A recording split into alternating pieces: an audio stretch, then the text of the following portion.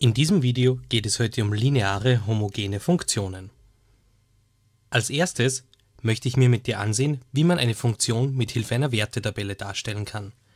Du siehst hier eine Funktionsgleichung y ist gleich 2 mal x und um nun diese Funktion zu zeichnen, legen wir eine Wertetabelle an. Für die Wertetabelle habe ich jetzt die x-Werte minus 1, 0, 1 und 2 genommen und wir berechnen nun gemeinsam die dazugehörigen y-Werte.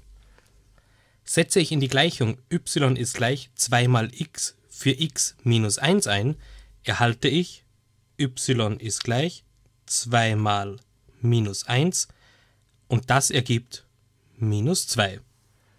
Das gleiche mache ich nun mit 0. 2 mal 0 wäre 0. Dann mit 1, 2 mal 1 ist 2. Und zum Schluss noch mit 2, 2 mal 2 ist 4.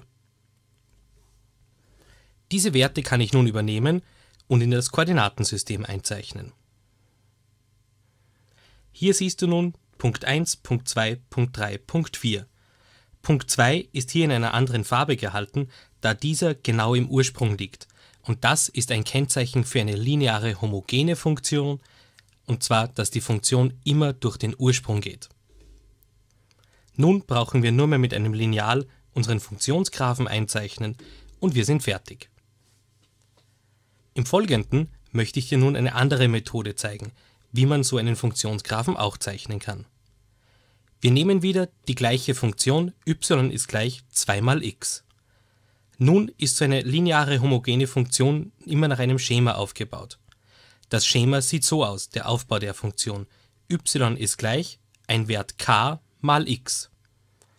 Wenn wir uns nun die Funktionsgleichung ansehen und dann den Aufbau der Funktion, sehen wir, dass das k im Aufbau der Funktion der 2 in der Funktionsgleichung entspricht. Und das k ist in diesem Fall die Steigung. Wir helfen uns nun also mit einem Steigungsdreieck. Zuerst schreiben wir uns k, also die Steigung, noch einmal separat heraus. k ist gleich, in unserem Fall 2. Wir schreiben das aber nun nicht als natürliche Zahl, sondern als Bruch. Nun müssen wir noch schauen, was dieser Bruch für uns bedeutet. Die Zahl im Nenner also 1, sind die Schritte, die wir auf der x-Achse gehen müssen. Die Zahl im Zähler, also oben, in diesem Fall 2, sind die Schritte, die wir auf der y-Achse gehen müssen.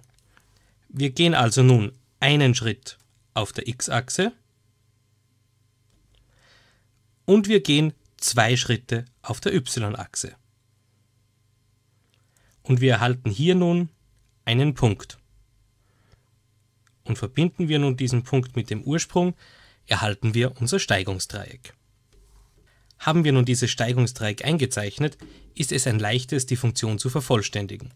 Wir brauchen nur mehr unser Lineal, legen es sauber am Steigungsdreieck an und zeichnen unsere Funktion.